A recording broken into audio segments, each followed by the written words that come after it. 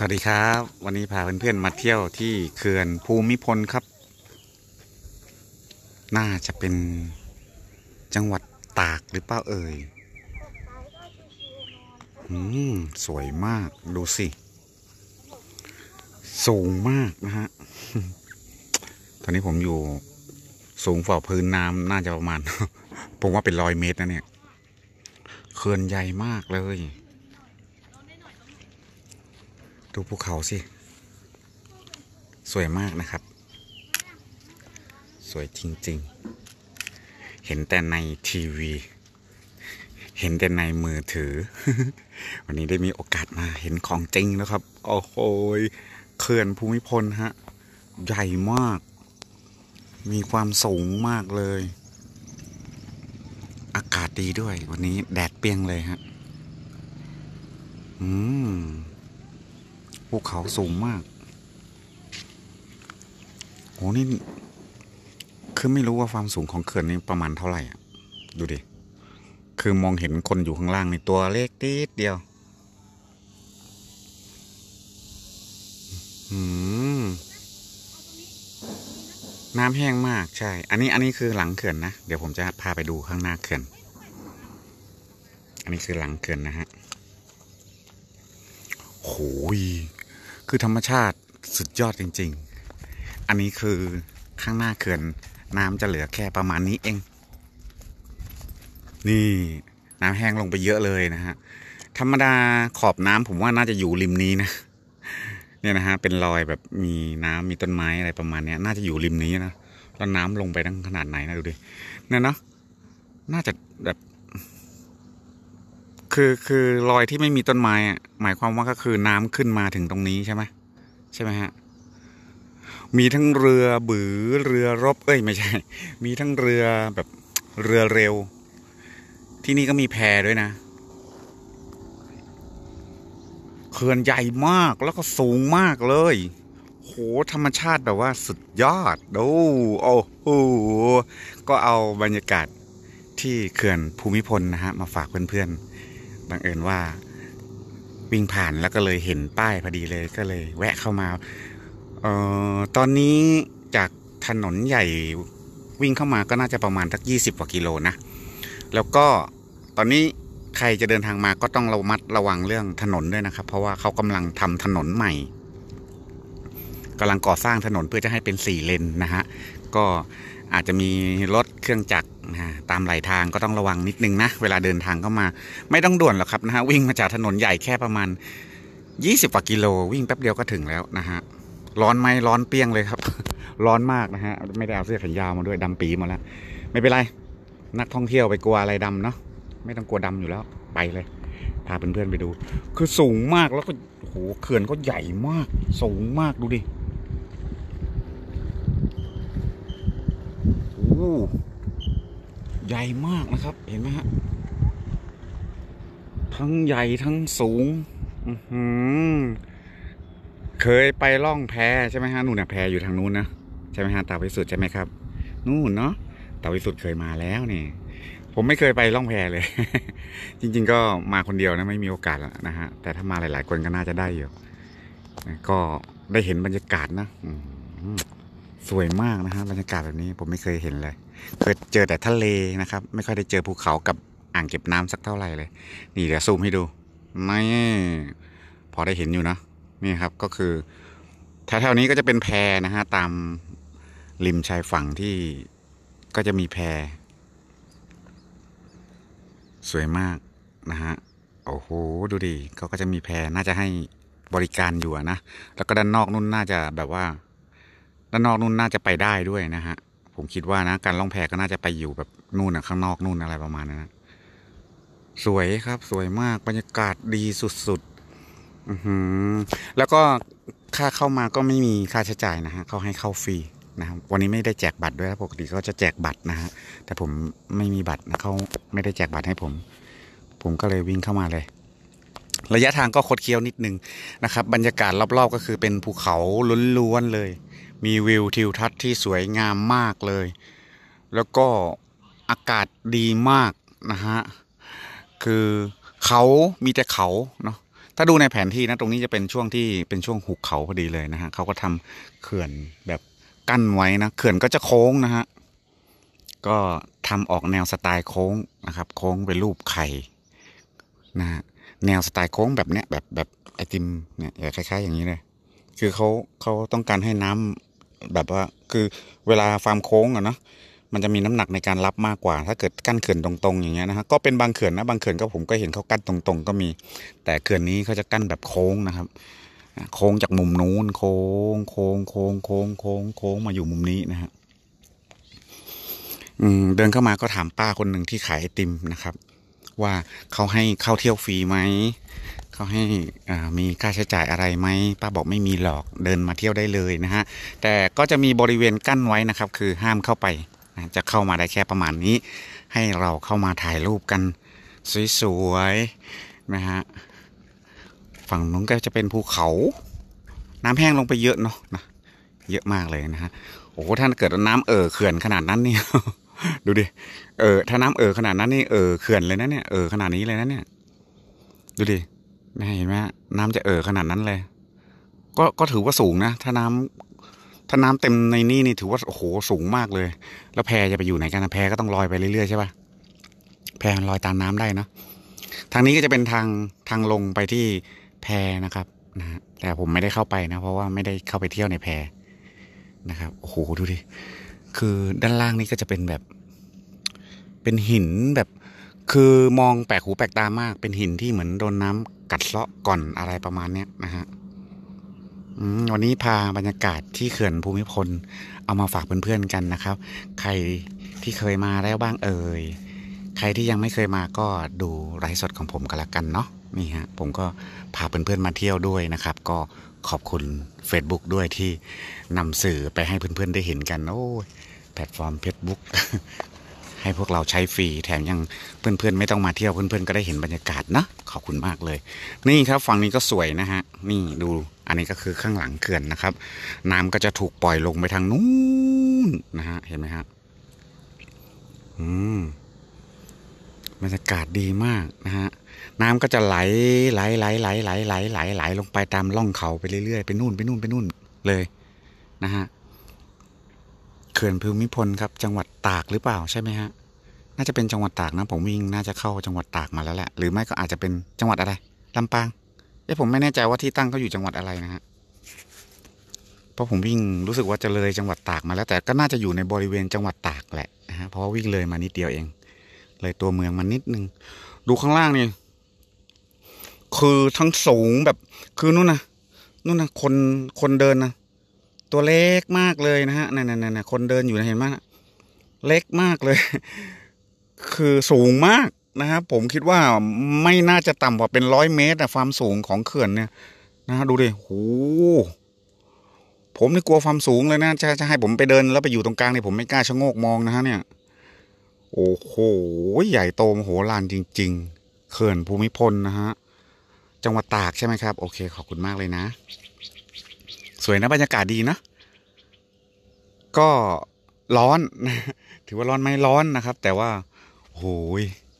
ผมผมก็อยากอยู่ตากแดดแหละ เพื่อจะเอาภาพวิวบรรยากาศสวยๆมาให้เพื่อนๆได้ดูกันนะเป็นหุบเขาเลยนะ ถือว่าเขื่อนภูมิพลนี่ใหญ่มากเลยนะครับ ก็เป็นเขื่อนที่กั้นแบบกั้นระหว่างภูเขาเลยก็ว่าได้นะฮะ เป็นแบบนี้เลยเนะี่ยกั้นแบบภูเขา ถ้าถ้าในอนาคตเนาะอืม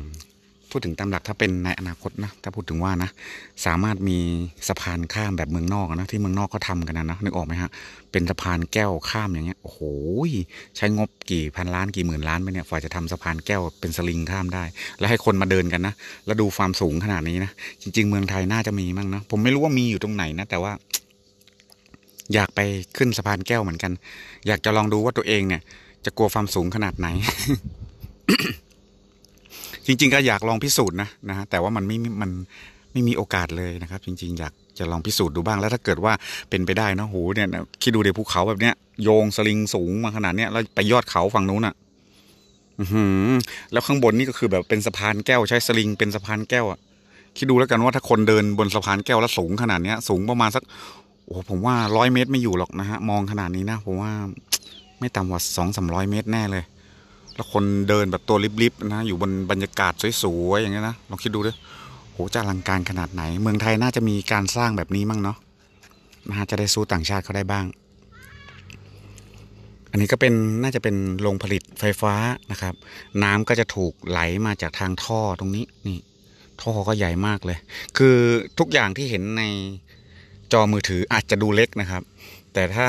เห็นของจริงแล้วท่านจะรู้ว่าโห สุด สุดจริงๆอะใหญ่อลังการอลังการมาก ใหญ่มากๆนะฮะก็มีนักท่องเที่ยวนะฮะ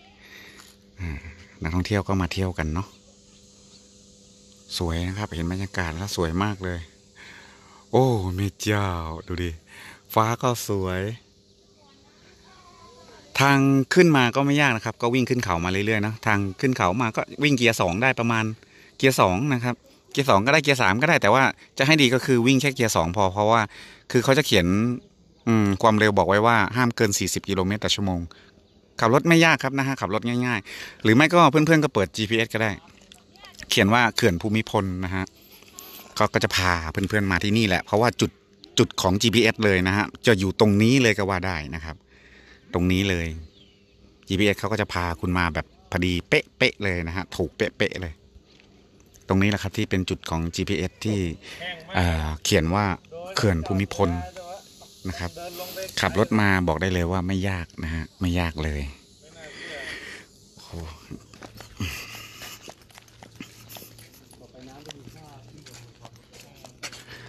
เขื่อนภูมิพลน้ำก็แห้งเยอะนะฮะนี่ครับเขาบอกว่าแห้งมาก ผมผมไม่เคยเห็นตอนที่น้ำเขาเต็มนะไม่รู้เขาเต็มขนาดไหนนะ เต็มอยู่ขนาดขอบเลยหรือเปล่า โหถ้าเต็มอยู่ขนาดขอบนี่ถ้าเต็มอยู่ขนาดขอบขนาดนี้นะแสดงว่าน้ำแห้งลงไปเยอะมากเลยนะ ผมว่าจากขอบนี่ไหลลงไปนี่ห้าสิบเมตรเลยนะ แล้วคิดดูน้ำตรงนี้ห้าสิบเมตรหายไปไหนอะโหแล้วเขื่อนใหญ่ขนาดนี้คิดดูน้ำลงไปห้าสิบเมตรนี่ ไม่ธรรมดาเลยนะเนี่ยนะฮะอืมต้องบอกว่าไม่ธรรมดาเลยเนาะสะพานแก้วเอ่ออยู่จังหวัดไหนครับสะพานสะพานแถวสะพานอะไรเอ่ยสะพาน เออผมอ่านไม่ออกนะ ผมไม่ได้เอาแว่นมานะอ่านมองไม่ค่อยเห็นเพราะมันกลางแดดด้วยเนาะใช่ครับน้ำแห้ง อืมคือน้ำแห้งมาก เห็นมีคนเดินมาแล้วก็บอกว่าน้ำแห้งมากเลยอย่างเงี้ยคือผมไม่รู้ว่าน้ำปกติของเขาอยู่ขนาดไหนนะครับอือสวยมากดู บรรยากาศมีทั้งเขา เป็นวิวทิวทัศน์ที่สวยงามมากเลยนะเขื่อนภูมิพลฮะที่นี่ครับ จังหวัดตากเนาะ สวยมากเลยเขื่อนใหญ่มาก ดูดิครับเขื่อนความกว้างก็น่าอยู่ประมาณสักสิบห้าเมตร ถึงยี่สิบเมตรได้นะประมาณนั้น ความกว้างของเขื่อนนะฮะโอเค ร้อนแล้วนะฮะมีโอกาสพาเพื่อนๆมาเที่ยวด้วยนะครับ นี่ครับฝั่งนี้ก็คือฝั่งที่เป็นทางปล่อยน้ำนะครับ ก็สวยเช่นเดียวกัน ความสวยของเขาไม่ธรรมดาเลยนะเนี่ยอืมสูงมากเลยอะ่ะ คนเดินตัวเล็กทีเดียวเองภูเขาอันนู้นนะสูงมากนะฮะ สูงกว่าที่ผมยืนอีกนะฮะ ก่อนหน้านี้ผมเคยไปแล้วนะครับ โอเค เอ่อ น้ำน้ำเต็ม น้ำเต็มเขื่อนสวยมากเลยใช่ไหมฮะ ใช่ใช่ผมว่าถ้าน้ำเต็มเขื่อนจะสวยน่าดูนะ ราะว่าอันนี้คือหลังเขื่อนนะครับ ถ้าเกิดว่าหน้าเขื่อนจะอยู่ฝั่งนี้ ถ้าน้ำเต็มเขื่อนนี่ก็คงจะแบบกว้างใหญ่อลังการน่าดูอะนะฮะเนาะเพราะว่าตอนนี้ที่เรามองเนี่ยคือ น้ำเขาน้อยนะครับ เขื่อนก็จะแลดูเล็กอ่าน้ำน้ำในอ่างก็จะแลดูเล็กไปนิดนึง แต่ถ้าเกิดว่าน้ำขึ้นมาเต็มเมื่อไหร่เนี่ย โอ้โห คงต้องบอกว่า แม่น้ำกว้างน่าดูตรงนี้นะครับ น้ำในอนาคตต่อไปก็จะ เอาไว้สำหรับหล่อเลี้ยงหลาย ๆ ชีวิตเนาะน้ำก็มีความหมายนะฮะ มีความหมายมากด้วย ในอนาคตนะฮะ น้ำจะยิ่งสำคัญถ้าเกิดน้ำขาดแคลนนะฮะ ก็เป็นบุญของคนไทยเลยนะฮะ ที่มีเขื่อนแบบนี้เนาะนะครับ สร้างไว้เพื่อให้คนไทย เอาไว้ใช้สอยให้มีประโยชน์ สุดยอดจริง ๆ คงจะอยู่กับลูกหลานเราไปอีกนานนะเนาะเขื่อนแต่ละเขื่อนนี่ผมว่าน่าจะอยู่ได้เป็นหลาย ๆ ร้อยปีนะคงไม่มีโอกาสแบบว่าเสียหรอกเนาะเพราะเขาสร้างมานี่โห แต่ละอย่างในการสร้างเขื่อนนี่ไม่ธรรมดานะรากฐานเขานี่สุดจริง ๆอะดูเดิผมจะให้เพื่อนๆดู ให้ดูนะ เห็นไหมนี่นะ ใหญ่โตมโหฬารมาก อืมผมได้ยินเสียงแว่วๆ จากคนข้างๆ ที่เขามาเที่ยวกันนะฮะเขาบอกว่าน้ำในเขื่อนนี่แห้งมากเลยเขาไม่เคยเห็นแห้งขนาดนี้นะครับ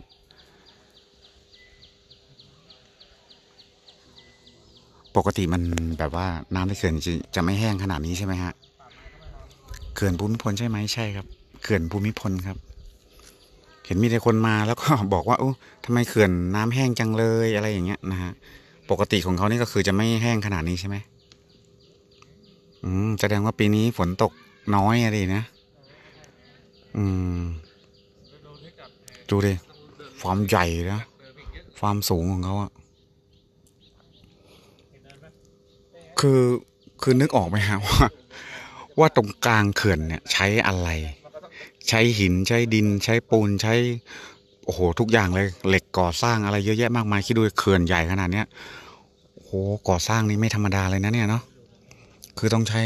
คือความหนาของเขาด้วยดูดิ หนาประมาณเกับยี่สิบเมตรอะความฟ้างเนี่ยโอ้คงจะใช้งบสร้างแบบไม่ไม่เบาเลยทีเดียว โอ้โห สุดยอด อะ โอเค วันนี้ก็พาเพื่อนๆมาเที่ยวเขื่อนภูมิพลนะฮะ จังหวัดตากนะครับ แล้วก็ขอบคุณเพื่อนๆ ทุกๆคนด้วยนะที่ติดตามผมในทาง Facebook นะครับ ส่วนตัวผมนั้นก็กำลังจะเดินทางไปจังหวัดเชียงใหม่นะครับ แต่ก็อาจจะแบบเลยไปอีกนิดนึง อาจจะไปจังหวัดเชียงรายนะฮะเพราะว่ามีเพื่อนอยู่ที่จังหวัดเชียงรายนะฮะจะไปตั้งใจว่าจะไปหายูทูบเบอร์คนหนึ่งที่เขาอยู่จังหวัดเชียงรายนะครับอื้อหือสวยมากเห็นไหมครับ โอ้มีเจ้า สวยมากเลยบรรยากาศอื้อหือ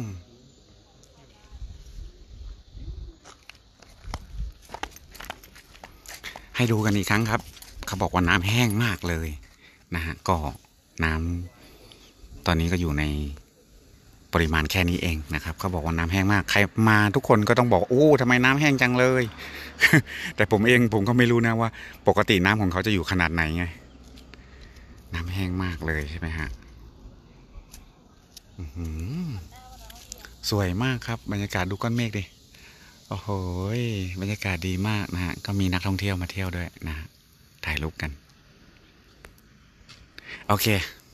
อะเอาเป็นอันว่าไม่ไหวละแขนดำปีหมดแล้วนะฮะ ก็วันนี้พาเพื่อนๆมาเที่ยวที่เขื่อนภูมิพลจังหวัดตากนะครับ แล้วก็ผมก็กำลังจะเดินทางไปต่อนะฮะ เดี๋ยวออกจากเขื่อนนี้ก็จะมุ่งหน้าขึ้นไปจังหวัด ตรงนี้เราจังหวัดตากใช่ไหมต่อไปก็เป็นจังหวัดลำปางใช่ไหมฮะ จากจังหวัดลำปางเสร็จปุ๊บก็จะไปเป็นจังหวัดเจียงใหม่ใช่ป่ะ ก็ไปถึงเจียงใหม่เออไปถึงเจียงใหม่แล้วก็อาจจะเลยไปนู่น จังหวัดเจียงไล่ไปมันให้สุดเลยนะฮะไปมันให้สุด ก็จะไปเที่ยวนะครับถือว่าพักผ่อนไปในตัว นี่แหละครับชีวิตหลังเกษียณของผม ได้เที่ยวไปในตัวนะฮะก็ก็รู้สึกดีนะ นะฮะก็รู้สึกดีอยู่พอสมควร รู้สึกได้เที่ยวได้เห็นในสิ่งที่ตัวเองไม่เคยเห็น ทางด้านนี้นะครับด้านนี้ก็จะเป็นทางด้านหน้า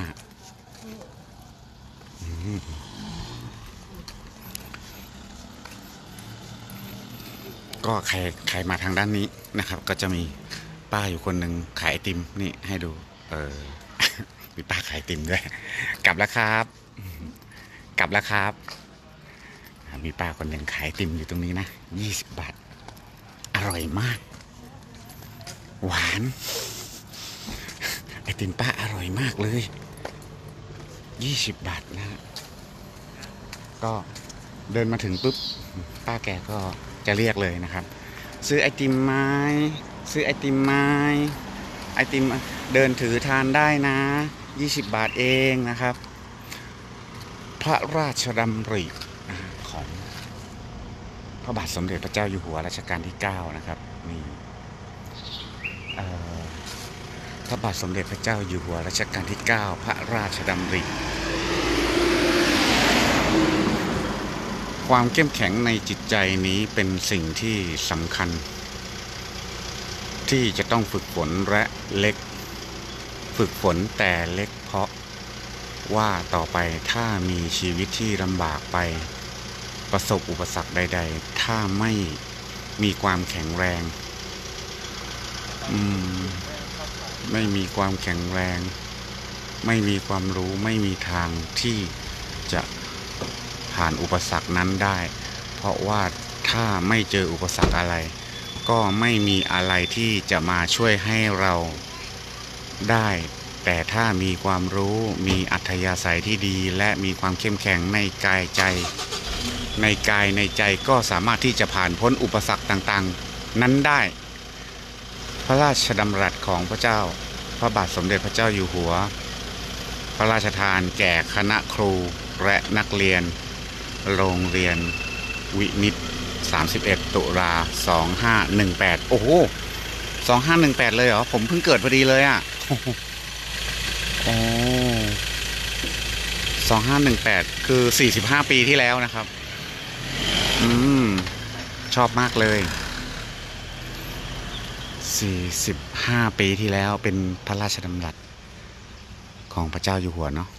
รัชกาลที่9นะฮะ โอเค ขอบคุณมากๆเลยเพื่อนๆทุกๆคนที่เข้ามาดูกันนะครับ เดี๋ยวผมขอถ่ายภาพนี้นิดนึงนะฮะ ขอบคุณทุกๆคนนะฮะที่เข้ามาชมกันวันนี้พาเพื่อนๆมาเที่ยวที่เขื่อนภูมิพล จังหวัดตากครับ